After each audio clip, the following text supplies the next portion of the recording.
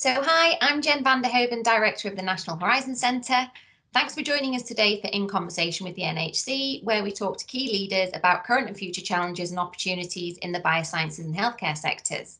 And today I'm fortunate enough to be joined by Jason Foster, who's the CEO of Ori Biotech. So thanks Hi, for joining us today. Hi, Jen. Thanks for having me. Hey, so do you want to start off by telling me a bit about yourself and sort of your career so far? Sure. Um, I spent some, most of the last 20 odd years building healthcare and technology businesses. Uh, first in the US, you can tell by my funny accent, I'm an American, um, but I've lived in the UK now for 11 years.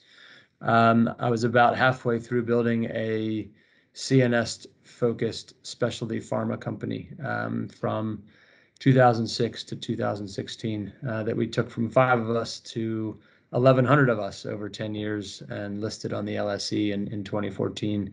Uh, and that's what brought me to the to the UK. I, I, came over in 2010 to help build the European operation for that business, and and never left. You guys couldn't get rid of me, so uh, that's how I ended up here, uh, and have been really in working in this space for my whole career. After leaving that business, uh, I started advising startups, working with incubators, investing as an angel. Uh, so I have a portfolio of 13 investments myself. Um, I sit on the board of five of them, including Ori Biotech, which we'll talk about today uh, in more detail. Uh, and have really just tried to be helpful to the ecosystem. We have such a vibrant uh, life sciences ecosystem in London and the UK in general uh, and just trying to get involved again with early stage startups as an advisor, as an investor, uh, and ultimately now again as an operator. That's fascinating. So I guess perfect timing in terms of the COVID pandemic, which has really kind of shone the light on the UK science, um, life sciences sector, um, as you mentioned, and that role of biotech and why it's so important moving forwards. So do you want to tell me a bit about what Ori Biotech's doing in the cell and gene therapy space? Sure. Yeah, of course. I met the founding team of, of Ori in 2018, actually, as uh, the co-founders, Dr. Chris Mason and uh, Dr. Farlan Veraitch, had met at UCL as professors. UCL, you know, has a very extensive history in regenerative medicine. Uh, and we're very close to some of the key research labs in the US uh, and really realized very early on in 2015 uh, that cell and gene therapy had incredible promise uh, but the one of the major stumbling blocks, one of the major barriers to getting these incredible therapies to patients uh, was the manufacturing process. The manufacturing can be highly manual, almost kind of like a lab process on steroids, where they try and take it to a GMP quality process, but uh, exceedingly manual, often requiring lots of highly skilled people, lots of hands-on uh, labor and also very large facilities that make the costs almost prohibitive, unfortunately, for some of these therapies.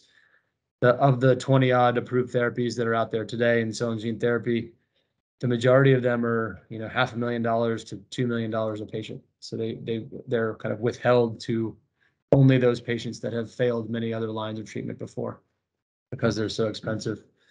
Uh, so when I met the team in 2018, I was really excited about the opportunity to be able to help millions of patients. So, you know, almost 10 million people a year get diagnosed with cancer. Another 10 million people a year die of cancer every year all over the world. So it's a huge unmet need to be able to treat these patients uh, more efficiently, more effectively. Uh, and often cell and gene therapies represent a potential cure uh, for many patients. So they've been targeted initially mostly in liquid tumors, you know, blood cancers like leukemias and lymphomas. Uh, but unfortunately, as we said, there's only you know 10 or 20 percent of the patients out there who could benefit from them that actually get access. So that's really Ori's mission as a company is to enable widespread patient access to this new generation of, of life-saving uh, cell and gene therapies. So it was a, mission that's easy to get excited about, uh, and I did get excited about it uh, and joined the team full time in 2019, right after we closed our our seed financing round. And that's really relevant because on the news recently, um, we heard about baby Arthur, who is five months old, who has spinal muscular atrophy, and um, one, he's now one of the first patients in the UK to be treated um, with gene therapies. Um, and, and that one treatment is around 1.8 million. So you mm-hmm. can see what these barriers to adoption of the treatment are. So along with the kind of the cost of manufacturing, are there any other barriers to the adoption of, of the treatments, um, treatment of patients with cell and gene therapies? Uh, yeah, the barriers are uh, unfortunately, several. Um, I think you know ultimately cost is a significant one. Uh, the cost is a is a byproduct of these kind of inefficient processes. So if you think about you know a lab process where you have a very highly skilled, maybe a PhD immunologist under under a hood, you know, micropipetting and using flasks and bags and, and moving fluids around, trying to create that therapeutic intervention. Um, potentially, you, you have a very logistically challenging process. So in autologous therapy, which means we start with the patient's own cells, their own immune cells. I'm speaking about cell therapy in particular. We'll come back to gene therapy in a minute. It's a little bit different. Uh, but for cell therapy and gene modified cell therapy in an autologous format, you start with the patient's own cells that are harvested at the hospital.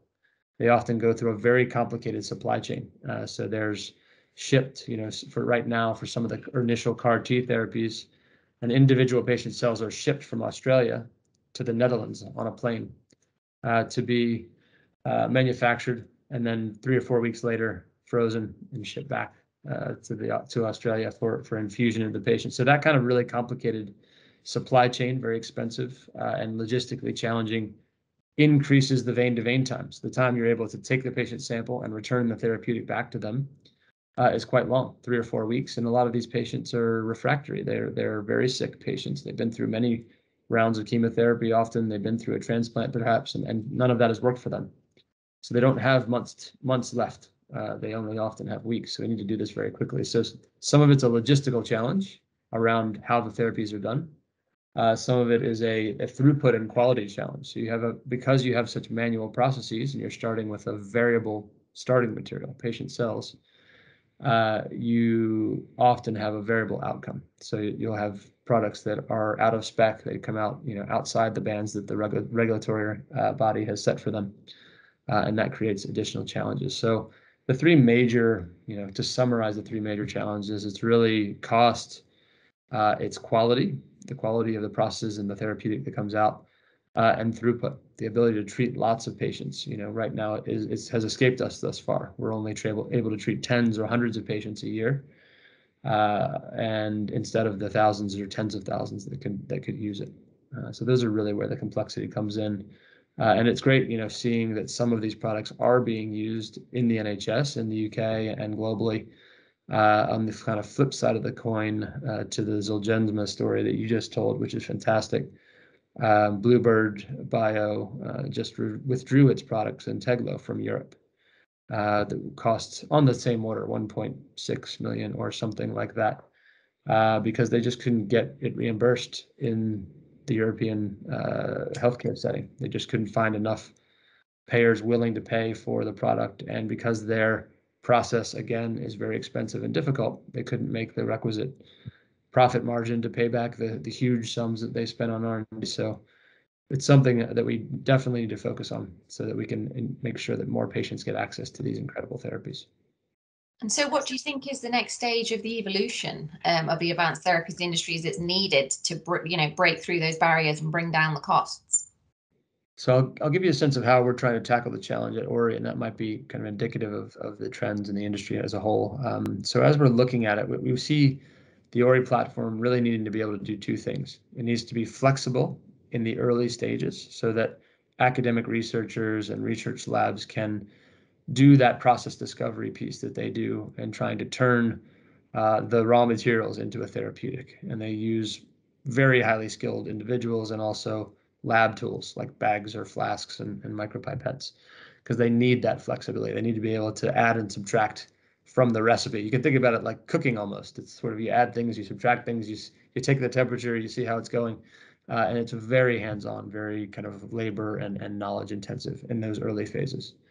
Uh, if on the Ori platform you can is, has been built so it's flexible enough to be able to do that kind of process, and if you can get it to work on the Ori platform, then it will it will scale with you into the clinic, and ultimately to commercial scale manufacturing, which has really been the, the challenge. Is it that translation of that academic process into the clinic is often very difficult and very expensive but also often can be done because you're serving relatively few patients in a clinical trial setting. Maybe you're treating 30 patients or 100 patients. It's a relatively small number.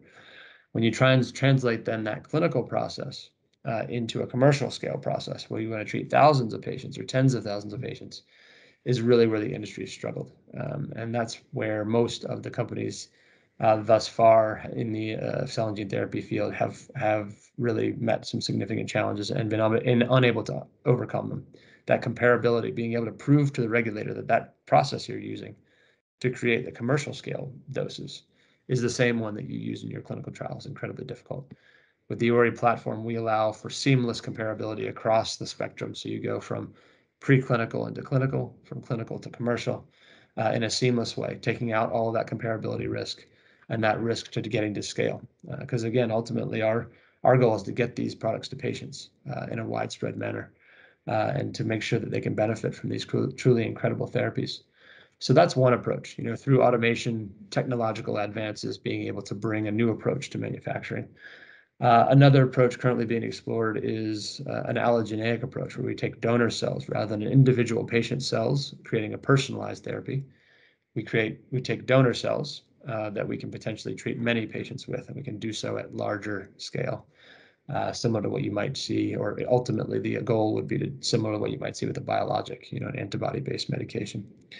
Uh, so that's another approach. It has its own challenges. Uh, it might help us, you know, have fewer manufacturing runs to create more doses, uh, but there are clinical and scientific challenges uh, with allogeneic. Obviously, taking an, another person's cells and putting them into into me or you, our immune system's not going to like that. they're they're going to want to fight that off.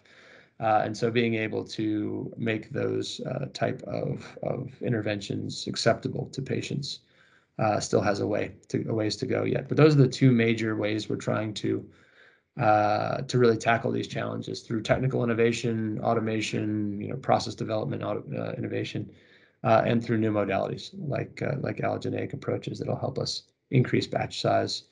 Uh, and on the on the gene side, on the gene therapy side, um, you know, the viral vector manufacturing is incredibly complicated, and it's one of the major stumbling blocks and major cost components uh, for these gene therapies. So they're really trying to build out new approaches uh, to viral vector manufacturing uh, and to think about ways they can do gene therapy using different technologies that are higher throughput and higher quality uh, and ultimately lower cost. So similar approaches across the spectrum uh, in, in trying to open up access.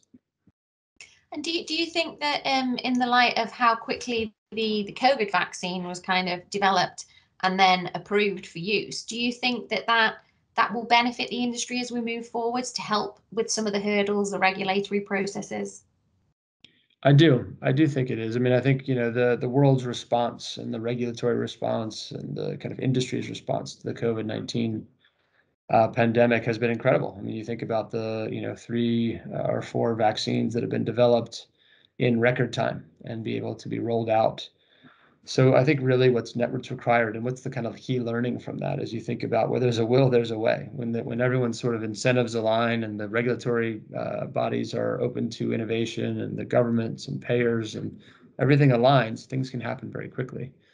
Uh, and I don't want us to lose the lesson there. You know, I think the, you know, I was sitting on a panel not long ago talking about this issue and to say, you know, one of the things that we can do is to, if we assure innovators that there's a market for their innovation. They will get paid for their innovation. They'll bring innovation to market. It's as simple as that. It's the, it's the capitalism works in that way. Uh, and that was what you know. I think you know the the ability to bring these products to market to help patients and understand that they were going to be able to re- recoup their investment. I mean, you know, Pfizer and uh, AstraZeneca and J and J and some of these companies, Moderna, made huge investments in infrastructure and manufacturing, in R and D, uh, putting billions of dollars at risk, um, you know, hoping that, knowing that they wanted to help patients, but hoping that they'd be able to return an investment to their shareholders, uh, which is what, you know, companies are required to do. So I think the alignment of uh, incentives around markets being, you know, making it clear that payers are going to pay for innovation uh, is one key hurdle to overcome or one key learning uh, from COVID-19. Another, as you mentioned, was the regulatory constraints. You know, I think we allowed for compassionate use. We allowed a, a fast path to market because uh, the cost of not doing that was higher than the cost of doing it. You know, we thought we needed to get these products out to people, and to, you know, they were whose lives were at risk from COVID nineteen. When you're thinking about um, you know, cancer and the number of people that are infected by cancer every year, um, and the type of patients that we're treating with cell and gene therapy. These are often patients with no other option. You know, they're they're on on the last stage oftentimes. So what is the real risk, you know, to giving people access to these products more quickly uh, than we are today? I'm not sure that there is significant patient risk uh, to doing that. So I think we need to continue with our market innovation, continue with regulatory innovation, uh, and continue with you know sort of manufacturing innovation and and you know distribution. You've seen global supply chains put under a lot of stress uh, through the pandemic, uh, not only for for uh, life sciences products, but for things like semiconductors and you know just wood and, and paper and, and other kind of raw materials, uh, PPE. Uh, so you know we need to be, look very closely at how we're managing supply chains to make sure that we have the capability to deliver these products to patient the patients who need them. Uh, so we're, we're thinking about it, Ori, you know, how do we do manufacturing, you know, close to where the customers are, close to where the patients are. We need to have a business continuity plan that includes, you know, at least at the very minimum, Western Europe and North America, um, and making sure that we can serve patients without having, you know, these products go out of stock. If you're running a clinical trial, if you're a therapy developer, and you go out of stock, I mean, it doesn't have to be a, a, critical ingredient potentially, like you know, uh, your viral vector what if you went out of stock just for a bag? A bag you needed to do a step in the process that it's not there anymore. Uh, you can't run your process. You can't run your clinical trial. You can't treat patients. If you're commercial, you can't run your commercial process. So it's very, very important that we look at su supply chain security as well uh, as another lesson from the pandemic. Brilliant. Well, thank you. So I guess finally, do you want to just tell me a bit about what's next for Ori Biotech in the next one, two, three years? Sure, it's a super exciting time for the company. Um, we are um, last year we closed our Series A financing round, which was a, a 23 million sterling round. Um, we were about six people full time at that point. Uh, we're 31 as of today, uh, so we're growing fast. Uh, really trying to bring in the leaders from cell and gene therapy. We've got an incredible team, uh, and we're finding a lot of great talent, both in the UK and in the US. We've got now got four or five people in the US starting to build up our customer facing team there. Uh, but we're continuing to do our research and development engineering work in the UK um, and looking for great talent. So anyone who's watching this and interested in in cell and gene therapy with you know technical engineering skill or scientific skills, we're very excited to talk to you. And also, interestingly, data science. You know, data science is one area that is in hot demand everywhere in the world. Uh, but the ability to combine kind of life sciences biological training with data science is, is an extremely difficult uh, set of skills to find. Uh, so if there are any, you know, college students out there, you know, thinking about what course they should study, uh, going into data science and, and studying biology is a is a skill set that's in great need out there. So we're looking to hire the best best talent uh, in globally, uh, but particularly in the UK, that's operating in this field. Uh, and as we do that, we're de-risking the technology. Uh, we're going to be uh, moving into a commercial launch phase next year. So the hope is that our platform will be the first generation of the platform will be available to therapy developers and in the clinic treating patients in clinical trials uh, by the end of next year. Uh, so very exciting times to see what's been you know five or six years of hard work trying to create the platform and bring it to life and test it, make sure it's safe, make sure it does what it's supposed to do uh, and to actually see it treating patients will be a huge milestone for the business uh, and for all of us, you know, who who really are really super passionate about achieving our mission and making sure that patients get treated with these incredible therapies. Fantastic. Well, thank you so much for joining me today. It's great to hear about what's going on at Ori Biotech and your passion for the biotechnology um, sector in the UK. So thank you for thank you for joining again, and I look forward to catching up with you soon. Great. Thanks so much for having me. Thanks.